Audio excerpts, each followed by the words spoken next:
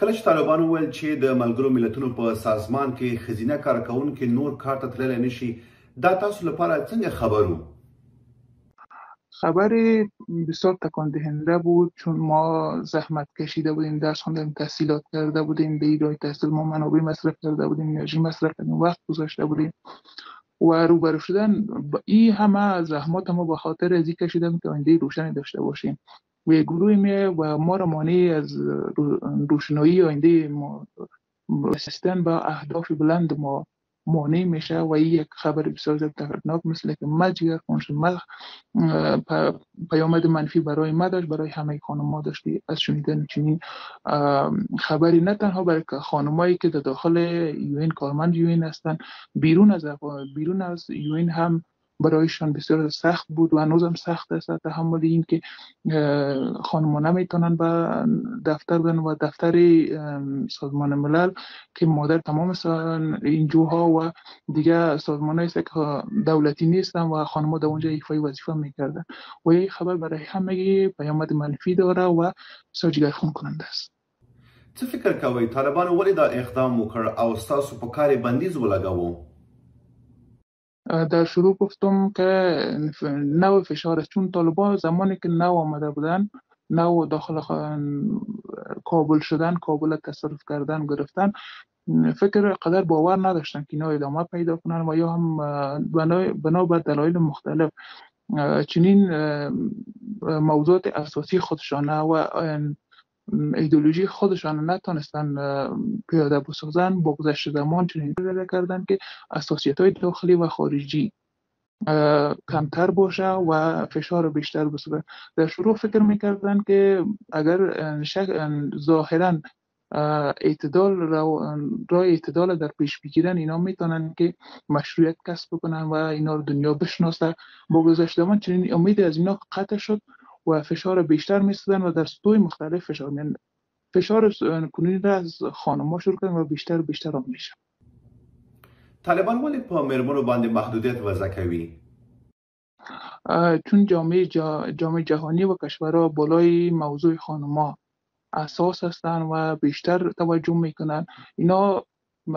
فشار بالای خانم بیشتر میگن تا بیشتر توجه کسب کنند توجه جامعه ملل که ما میتونیم چنین کارهای مخرب بکنیم و اگر که ما به رسمی شناخته نشیم. آیا تاسو فکر کوئ چې طالبان به یو ورځ په ملګرو ملتونو سازمان کې د میرمنو پر کار بندیز ولګوي در شروع اصلا چنین گپی نبود. ما فکر می‌کنیم که سازمان ملل سازمان غیر دولتی و سازمانی است که مستقل است و هیچ مربوط دولت نیست. دولت حمایت دولت اکثرا از طرف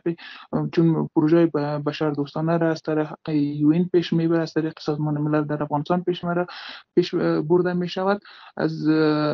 فکر نمی کردیم که چنین اتفاقی بفته برای خانما و اگر همه جای بسته بکنن همه جای به خاطر کمک رسانی به خود خانم برای مردم افغانستان و سازمان ملل فکر نمی کردیم که در برای خانم بسته بکنن. کله چې طالبانو په ندولتي موسسو کې د مرمنو په کار باندې بندیز ولګاو ویل چې یو شمېر مرمنو حجاب نه مراعاتو تاسو چې د ملګرو ملتونو په سازمان کې کار کوي آیا حجاب مراعات کېدو مرمنو دا مسله په نظر کې نیوله حجاب همیشه بر همیشه مراد شدگی بود از طرف خانم حال هم در گذشته هم. ای که میگن که حجاب خانم ها حجاب مراد نمی‌کردن اصلا چنین چیزی نبود. اگر می‌تونن بیان این رو ثابت بسن که چنین چیزی نبود که ثابت بسازن. و ما همیشه با حجاب می‌رفتیم با حجاب سر کار بودیم. دفاتر دیگر که ما خبر دارم دفتر دیگر که من می‌فهمم. اونا هم با حجاب بودن با حجاب سر کارشان می‌رفتن و حجاب یک چیز بهانه ای است و بیشتر از بهانه چیز بودن نمی‌تونه آیا تاسو فکر کوئ چې تاسو به بیرته کار ته ولاړ شئ او کار به پیل کړئ؟ ما تقاضای ما سازمان ملل از رهبری سازمان ملل ای است که اجازه چنین کاری به طالبان نتن و طالبان را وادار به ایست بسازن که خانما حداقل اگر در دوایر دولتی مانع شدن